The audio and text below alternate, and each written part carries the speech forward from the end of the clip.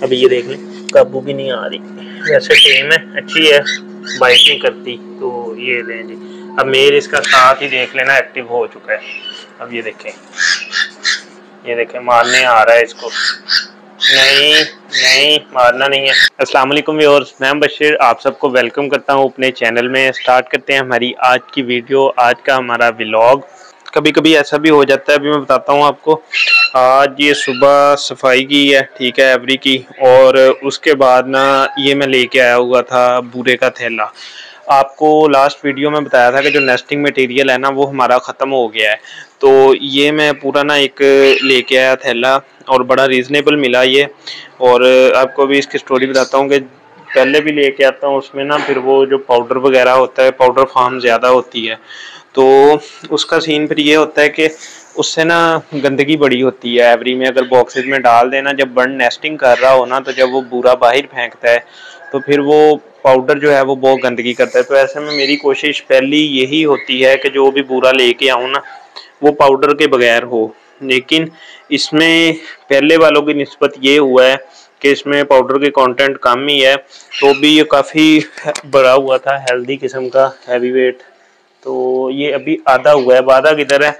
ये जी कुछ इसको छान के पाउडर है, इसका नेस्टिंग मटेरियल में से वो हमने निकाल दिया है। और इधर ये अभी पूरा एक थैला भरा है, ठीक है? ये सिर्फ़ छिलका है, ये इस तरह का ना। अब ये जो बड़े थैले में बुरा पड़ा है ना, इसका ये है कि ये जो हैंड फ़ीड वाले चिक्स है ना, उनके काम आ जाता है। उनके नीचे हम डाल सकते हैं, और ये जो सिर्फ़ छिलका है, ये हम इस तरह से करेंगे। कि ये सिर्फ़ बॉक्सेस में डालने के काम आता है। अच्छा अब किस्मत चेक करें। जब मैं इस सारे काम से फ्री हो गया ना, तकरीबन थोड़ी देर पहले ही फ्री हुआ हूँ तो किस्मत चेक करें। मैं इधर रूम में गया और ये पूरा आधा थैला मुझे पिछले साल का जो नेस्टिंग मटेरियल है ना, जो हम इस साल के शुरू में लेके आए थे, पिछले सीज़न का, ये बचा हुआ मिला। और मैं ये सोच रहा था कि नेस्टिंग मटेरियल जो है ना, वो बिल्कुल ख़त्म हुआ पड़ा है। लेकिन ये हमारे लिए एक लकीली निकल आया थैला। अब ये है कि ये इस सीज़न के शुरू में मैं लेके आया था और ये थोड़ा सा उसमें से बच गया था तो ये एक साइड पे रख दिया था। अब ये है जी ड्राई और ये वाला जो है, ये फ्रेश होने की वजह से गीला है।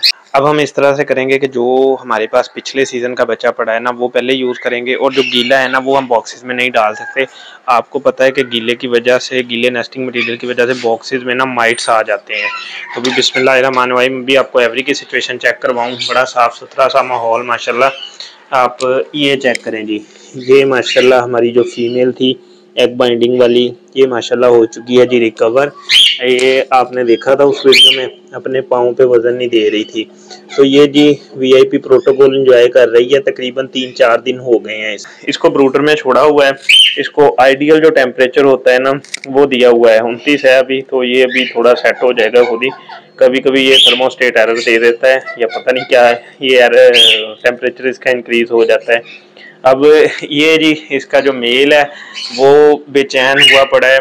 अच्छा मज़े की आपको एक और बात बताऊँ। मैंने ना इसको एक्सपेरिमेंट किया था, जिस दिन अगले दिन ये रिकवर हो गई ना, पाँव पे वज़न देने लग गई थी। तो इसको मैंने जब वापस इस पिंजरे में छोड़ा है ना तो इसने क्या किया जी? इसको मारना शुरू कर दिया और इधर ही पकड़ लिया। इसका सर जख्मी करने लग गया। तो जल्दी जल्दी वहाँ से पकड़ के ना मैंने फिर वापस इधर छोड़ दिया। अब इसके नीचे मौजूद हैं जी तीन फर्टाइल एग्स माशाल्लाह। अब ये देख लें। इसने ना, ये देख लें, साथ ही आ गया इधर को। अब ये चेक करें जी। ये माशाल्लाह से। ये देखें जी। तीन अंडे ये पड़े हैं, जो एग बाइंडिंग वाला एग था ना हमने निकाला, वो मैंने फोस्टर कर दिया हुआ है। अब गुड न्यूज़ मेरे लिए ये है और आपको भी एक स्ट्रेंज केस बताऊँ कि अकेला मेल जो है ना, ये एग इनकुबेट कर रहा है। चार दिन हो गए हैं और माशाल्लाह से अभी अच्छा मैंने ना एक चीज़ नहीं चेक की काफ़ी देर से इसको बाहर देख रहा हूँ मैं। एग्स का ना टेम्परेचर चेक करूँ, कि ठीक है। अंडे काफ़ी ठंडे हुए पड़े हैं, पता नहीं कब का ये बाहर घूम रहा है। मुझे पहले इसकी कैंडलिंग करने दें, कि डेड इन शेल ना हो गए हों। आप ना लग चेक करें। ये तकरीबन चार दिन हो गए हैं और ये अकेला एग इनकुबेट कर रहा है। कभी कभी मुझे ना ऐसा फील होता है कि ये ना एग इनकुबेट नहीं कर रहा डेड इन शेल कर देगा, लेकिन अभी माशाल्लाह एग्स की कैंडलिंग की है। सिर्फ़ दाना खाने बाहर आया हुआ था, उस पीरियड में जो अंडे ठंडे हुए हैं ना, सिर्फ़ वो चीज़ थी।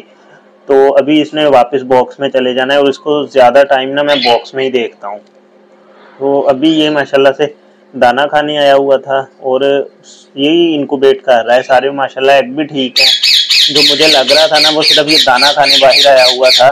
उसकी वजह से जो एग ठंडे हुए ना, वही चीज़ थी। अच्छा अभी हमने करना है जी एक काम, और आज की वीडियो में वो एक स्पेशल है। वो इस तरह से है कि ये जो हमारी फीमेल है ना, अब इसको ना आदत हो जानी है इतने टेम्परेचर की। तो इसको हमने सर्दी से भी इंट्रोड्यूस करवाना है, और सर्दी भी आनी है, इसको उस तरह के माहौल में भी रखना है इसको रेस्ट भी देना है। तो अभी मैंने ये सोचा है कि इधर एक ये डव का केज पड़ा है। इसको तो हमने ना पिछले साल का ये पॉलीथीन लगाया हुआ है। तो इसको हमने ऐसे ही इधर से ना ऊपर को उठा के कवर कर देना है। सर्दी काफ़ी ज़्यादा होने लग गई है। तो इधर आपको एक और इम्पोर्टेंट पॉइंट बता दूँ कि इन चार पाँच दिन में ना हमारी जो बर्ड्स की विंटर केयर है, उस पर फुल वीडियो जो है वो डॉक्टर अमार के साथ हमारा सेशन आ जाएगा। तो आपने वो ज़रूर देखना है, बहुत काम का सेशन है वो ना। तो उसमें बहुत ज़्यादा आपकी चीज़ें क्लियर होंगी। अभी आपको बता दूँ, इधर एक केज पड़ा हुआ है, ये वाला फोल्डिंग केज तो इसको हमने ना पॉलीथीन रैप करना है इसमें। कि इसको अगर धूप वगैरह भी लगवानी हो इजी रहता है, और आपको बताया है कि वो जो मेल है ना, वो फीमेल को मार रहा था तो उसके साथ भी नहीं अब छोड़ सकते। तकरीबन दो महीने इसको रेस्ट देना है फीमेल को। तो अभी ये पॉलीथीन में ले आया हूँ।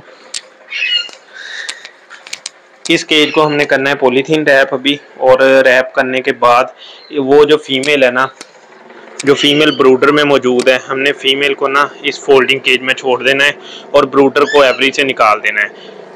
मैं अभी ये काम थोड़ा सा अपना सेट कर लूँ, फिर वापस वीडियो में आता हूँ। आप तब तक वीडियो को लाइक शेयर और चैनल को सब्सक्राइब कर लें और बेल नोटिफिकेशन ऑन कर लें। ये हमारा ना केज तैयार हो गया है। अभी आपको नज़र आ रहा है, इस पर पोलीथीन लगा हुआ, बहुत माइनर सा। तो इसका बड़ा ना फ़ायदा होता है पोलीथीन का। ये एक किस्म का ग्रीन हाउस भी बन जाता है सर्दियों में। अगर केज को धूप में रखना हो ना फोल्डिंग को तो इसके अंदर हीट बड़ी हो जाती है।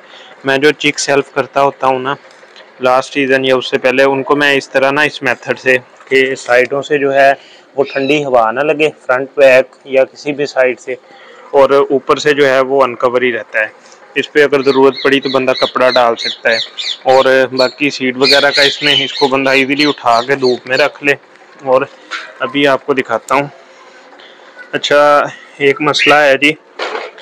इसका फ्रंट पर से ना हमें थोड़ा सा करना पड़ना है, क्योंकि बर्ड तो हमने इसके, बल्कि नहीं बर्ड हम वो नीचे से ना, वो उस ऑप्शन से छोड़ सकते हैं।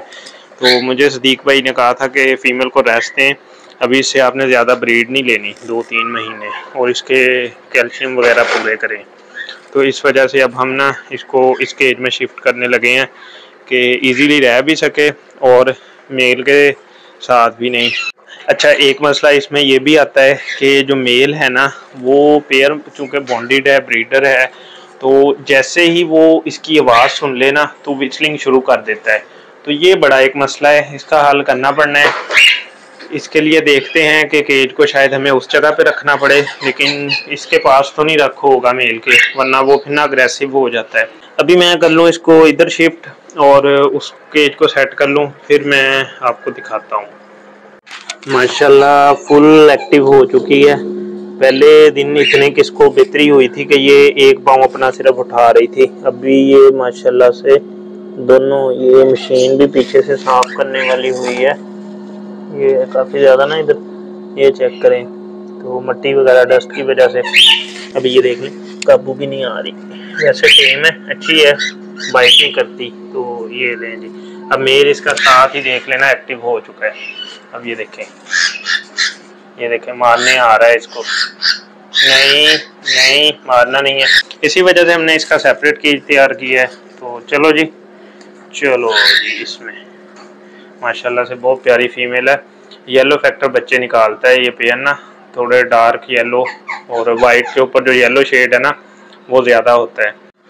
फाइनली आज चार दिन के बाद हमारा जो ब्रूडर है, वो बंद हो गया है और अब इसकी सफ़ाई होगी। ब्रूडर होने का ना बड़ा फ़ायदा है। तो ये देख लें, अचानक ज़रूरत पड़ी है बर्ड को हीट देने की तो तैयार पड़ी थी मशीन जस्ट उसको स्विच ऑन किया है सेटिंग की है और वो बर्ड, माशाल्लाह, मेरा उम्मीद नहीं थी, लेकिन बहुत अच्छा रिज़ल्ट आया है और बर्ड, माशाल्लाह हेल्दी एक्टिव दोबारा से एक नॉर्मल अपना ना आ गया है साइकिल की तरफ़। हम इसको देंगे रेस्ट अभी दिसंबर का पूरा महीना और कोशिश करूँगा कि मिड जनवरी या एंड जनवरी पे इसको दोबारा ब्रीड पे लगाएँ। इसका हमने ये करना है, अब इसके मेल का। बच्चे हैच कर ले, उनको पाले। तकरीबन तकरीबन कोई पंद्रह, बीस दिन तो मिनिमम पालेगा, उसके बाद देखेंगे अगर हैंड फ़ीड वाले हमारे सेल हो गए तो वो निकाल देंगे। फिर हमने ना इसका बॉक्स उतार देना है। बॉक्स उतार के इसको पंद्रह दिन की रेस्ट दे के फिर फीमेल को इसके साथ छोड़ना है। तो ये सारा हम पैटर्न फॉलो करेंगे। साथ साथ आपको चैनल पे वीडियो में ये देखने को मिलता रहेगा। वीडियो को लाइक शेयर चैनल सब्सक्राइब कर लें और बेल नोटिफिकेशन ऑन कर लें। मिलते हैं नेक्स्ट किसी वीडियो में नेक्स्ट किसी ब्लॉग के साथ नेक्स्ट वीडियो तक के लिए अल्लाह हाफिज़।